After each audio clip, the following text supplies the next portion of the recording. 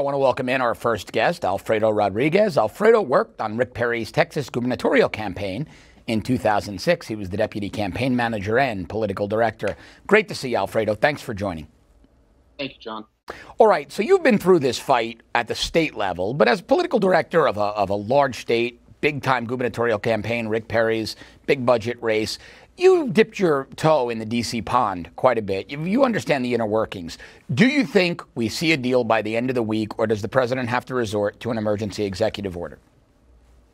Well, you know, John, if, if it hasn't been said already, I'd like to put the Democrats on notice um, that their uh, political posturing, their vitriol towards President Trump and his border security plans will have uh, an adverse effect and will determine their fate in 2020. And I believe it's going to be up and down the ballot from President of the United States all the way down to dog catcher. Uh, you know, the single most important responsibility of government is to protect and um, defend its citizens. And Democrats continue to be obstructionist on that. Uh, they continue to um, abdicate that responsibility and they continue to fail at it miserably. Uh, you know, we have a real crisis and a real emergency at the border, and we need to get something done. And President Trump has put together uh, a plan to do just that, and Democrats continue to refuse to negotiate uh, and protect our citizens. You know, Alfredo, one of the things that bothers me is the complete absence of common sense on the left side of the aisle, on the Democratic side of the aisle. So I want to talk to you about that for a moment. You're a Texan. You worked on, on Rick Perry's successful gubernatorial campaign. You understand the situation at the border possibly better than, than most guests I have. It was within the crosshairs of your political job. One of the things that really bothers me is when I hear Democrats say, well, all the drugs are being intercepted and coming in at ports of entry. Well, to me, that's such a ridiculous talking point. Well, of course, they're being intercepted where the dogs and the sensors and the ICE agents and the x ray machines are. We have no way of knowing just how many more drugs, how much more tonnage is coming across that porous southern border, right? But it's definitely coming across there, isn't it, from your experience?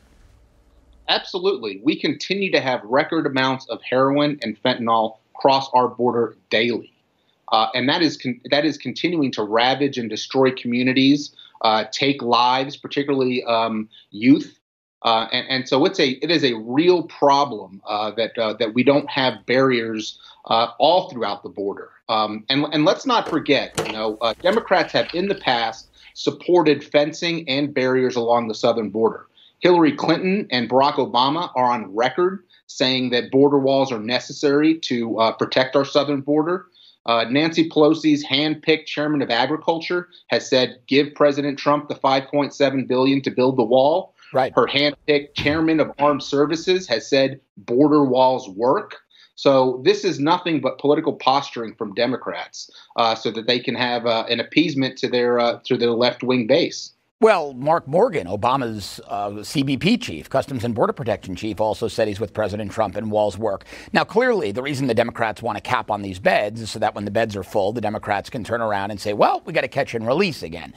And that's what I believe South Carolina Senator Lindsey Graham feels because he says Trump should not take the deal if there's a cap on those ICE detention beds. Alfredo, let's listen to the senator. They're willing to give the president a little more money for the wall, but in return, they want to limit the number of bed spaces available to house violent criminals. This goes back to AOC's belief that ICE should be abolished. So the bottom line is how can you get money for a wall and at the same time limit bed spaces for violent offenders and say you've solved the immigration problem? You're actually incentivizing more illegal immigration by reducing the bed space, and it undercuts any money you would get for a wall. He can't sign that bill. I mean, Alfredo, that's the Democrats' desire, right? Limit the number of beds, and when you don't have any more beds, turn around and say, well, we've got nowhere to house these illegal aliens, catch and release them and they'll oh they'll show up for their court appearances because they're such wonderful people. You're absolutely right, and Senator Graham uh, could not have said it better. Uh, the the rationale for Democrats wanting to limit the number of beds is so if we only have let's say 100 beds to detain uh, criminal illegal aliens that cross our border, but uh, 500 come across the border, then 400 are going to be left roaming our communities, roaming in our neighborhoods, right. and who knows what havoc criminal activities that they might uh, perform. Yeah, look, I mean, and I think that's the concern. Going back to what I said a bit earlier, most common sense Americans, the people we call the normal Americans, those outside the Beltway, those outside of New York City and Los Angeles, those elitist bubbles, most Americans understand that if you let a gang member who came here illegally go, chances are they're not going to show up to see the immigration judge when they're supposed to. But for some bizarre reason, Alfredo, the Democrats keep lying to the American people, telling them that this isn't happening, that drugs aren't coming across, that there aren't criminals in these caravans. I think the president understands that. And it looks like his acting chief of staff, Mick Mulvaney, does as well, because Mulvaney says we could see another shutdown by the end of the week. Uh, it's it's certainly possible, and the president certainly has that prerogative. Um, you know, I, I, am sorry, I believe, let's listen to Mick Mulvaney really quickly. I have a piece of sound because I want to get your comments on that let's say, for sake of this discussion, that the Democrats prevail and the hardcore left-wing Democrats prevail. There was a Democrat congresswoman who put out a tweet and yesterday about zero dollars for uh -huh. DHS. So let's say that the hardcore left wing of the Democrat Party prevails in this negotiation, and they put a bill on the president's desk with, say, zero money for the wall or 800 million, some absurdly low number. How does he sign that? He cannot, in good faith, sign that. It takes a presidential signature for the spending bill. But can you imagine? Director. He had a job much like Mulvaney's now. Big part of the chief of staff's job is to be the president's point man on the Hill. Do you agree with Mulvaney? I do. If uh, if the Democrats certainly lowball the president with something like eight hundred million dollars or or even zero funding for a border wall, then he has every prerogative to do what's right and to protect our uh, our country, to protect our citizens, to protect our communities, uh, and uh, and and move around some funds to go ahead and build a wall. Um, you know, and, and, it's not just criminal illegals that pose a, a problem here in, in the United States. Uh, you know, illegal aliens that cross our border are continuing to o- overburden our schools. Right. They're crowding our hospitals. They're depleting America's safety net.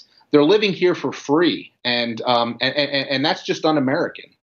Yeah, look, we had a uh, going back to criminal illegals. We had that shooting in broad daylight, that cold-blooded murder in broad daylight on a New York City train platform where an MS 13 gang member basically blew the brains out of a, a, rival 18th Street gang member, broad daylight, crowded train platform in Ocasio Cortez's district.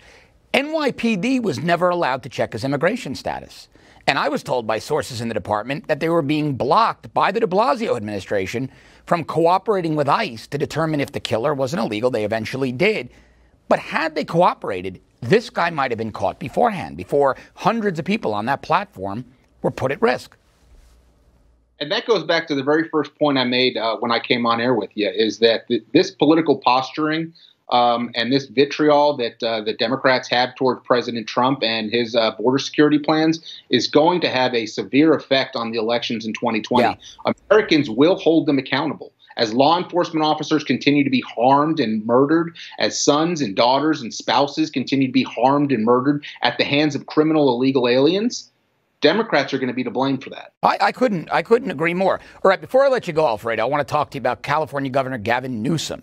Now, Newsom is expected to announce that he's pulling the National Guard troops from the California-Mexico border. The California Democrat is reportedly planning to sign an executive order getting those troops out of there ahead of his State of the State speech tonight. Now, Newsom is expected to say the border emergency is a manufactured crisis and that his state won't be part of political theater. I mean, has this guy spoken to local law enforcement? Does he speak to his California Highway Patrol, his sheriffs? They know this isn't a manufactured crisis, don't they? They absolutely know it's not a manufactured crisis. And, uh, you know, Governor Newsom is in for a real surprise because if he pulls those National Guard troops, if he pulls the security at the border and lives are harmed and lives are murdered, the blood will be on his hands. All right, Alfredo Rodriguez, Deputy Campaign Manager for Rick Perry's 2006 campaign, also his political director. Alfredo, thanks for your insights. Would love to have you back on this. Thank you. Appreciate it, John. All right, coming up, Senators Amy Klobuchar and Elizabeth Warren both officially launched. Oh, you knew this was coming. Their 2020 campaigns over the weekend. Now, could either one of them pose a real challenge to Donald Trump? Do you think either Klobuchar right there on the left, who looked like an angry snowman, or Elizabeth Warren, and we all know what she lied about. Do you think either one of them could actually pose a threat to Donald Trump in 2020? Give us a call. 877 Newsmax, 877 639 7629. Tell us what you think if either one of these women could pose a threat to President Trump. We'll be right back.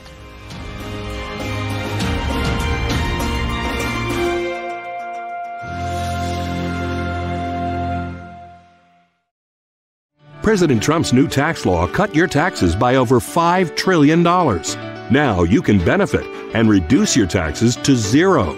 It's possible. The new best selling guide, The Trump Tax Cut, shows you how.